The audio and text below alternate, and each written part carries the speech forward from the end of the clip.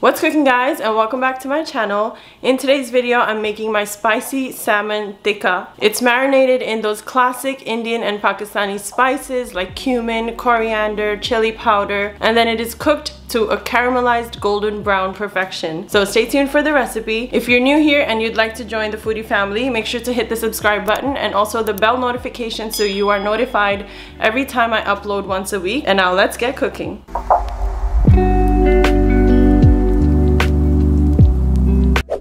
I'm gonna start by marinating my salmon first. And for the salmon, I have about a little more than one pound of salmon and I cut it into these bite-sized chunks. So I'm gonna start with four cloves of garlic that I have finely minced. You can also use garlic powder instead. I have one teaspoon of onion powder.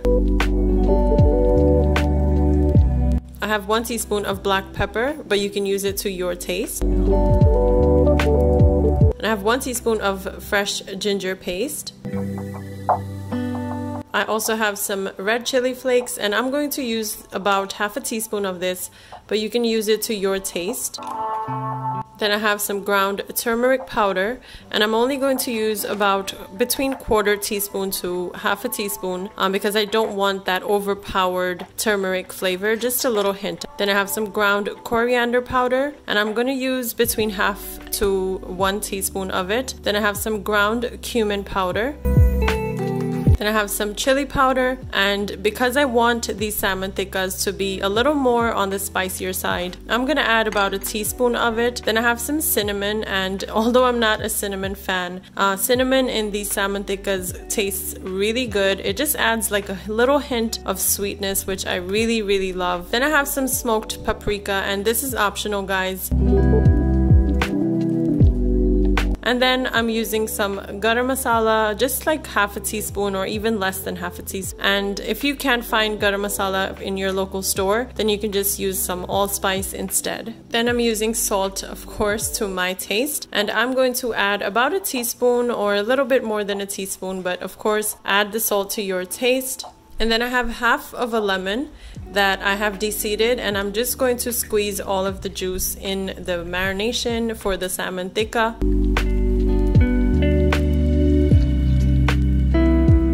Then I have some extra virgin olive oil and I'm just gonna add about a tablespoon of it. And then I put some gloves on just so that the colors of those spices don't go in my fingernails or just stain my fingers. Um, and you just want to rub all of those beautiful spices with the lemon juice and the olive oil all over your salmon chunks. And because I added lemon juice to this, I'm only going to marinate this for anywhere between 15 to 20 minutes only. If I marinate it for any longer, the acid in the lemon juice is going to start preserving the fish. So just be mindful of that. And now you can cover this and just marinate it for between 15 to 20 minutes. And after 15 to 20 minutes, my beautiful salmon chunks have been marinated and now it's time to cook them. In a pan here, I've already added a few tablespoons of olive oil, but if you don't want to add any oil to cook these, you don't have to because as you saw, I put some oil in the marination and I was heating up that oil for just like a minute or so. And once it's really hot, you want to start adding your marinated salmon chunks in there. And because it's salmon, it's only gonna take about two to three minutes on each side.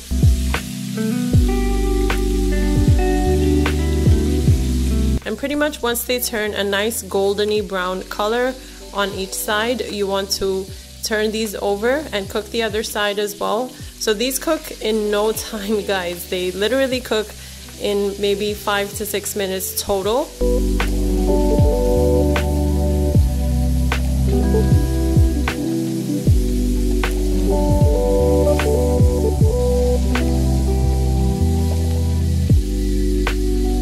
And as you can see, that golden brown color is so beautiful. And then you can still see the spices on there. You see the chili powder, the cumin powder, and all those other lovely spices that we added. And once, as you can see, they are golden brown on both sides.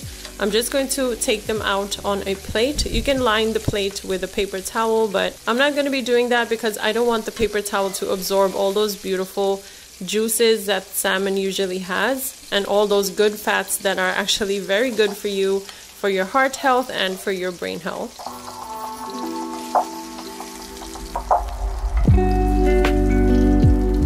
So that was my first batch and I'm going to cook the second batch and cook the rest of the salmon tikkas as I did the first batch.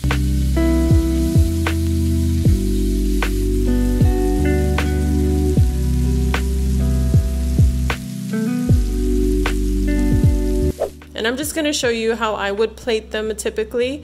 And look at that beautiful golden brown color. And you can still see those beautiful spices I added earlier in the marination. And I'm just taking these pieces and putting it in a little serving bowl. And look at that juicy salmon piece.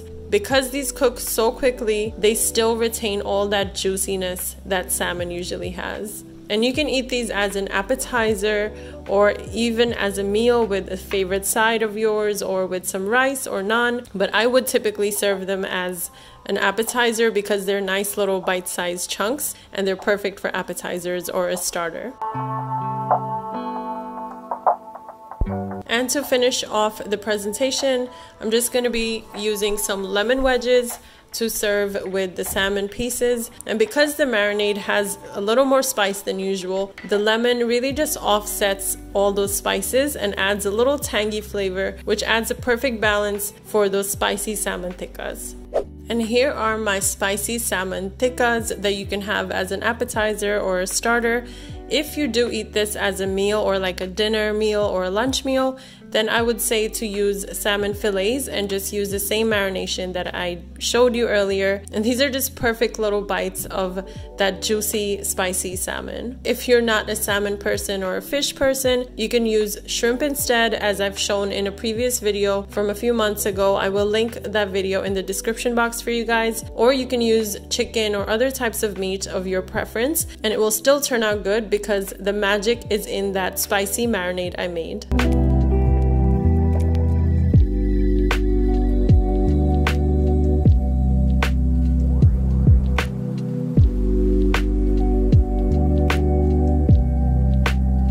So that's it for today's video guys. I hope you enjoyed my spicy salmon tikka recipe. This recipe is great for anybody who does not like to be in the kitchen for too long but still wants to eat like an exotic meal. It cooks so fast and you only have to marinate it for like 15 to 20 minutes. So in under 30 minutes you can have the salmon tikka prepared and also sides of your choice. It goes great with naan or even some white rice or you can have it with one of your favorite sides, whatever you'd like. So it's such a versatile recipe and I really hope you do try it out. Make sure to like, comment, share, and subscribe before leaving. Thank you guys for watching today's video and I'll see you in the next one. Until then, take care of yourselves.